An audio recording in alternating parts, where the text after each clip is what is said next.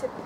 And thus, if you are going to be a rock star, well, he's right. You, he's right. He, you have got to practice. Yeah. And yeah, but I've got uh, talking about that one side of it. Um, yes, yeah, that sounds stupid. on on.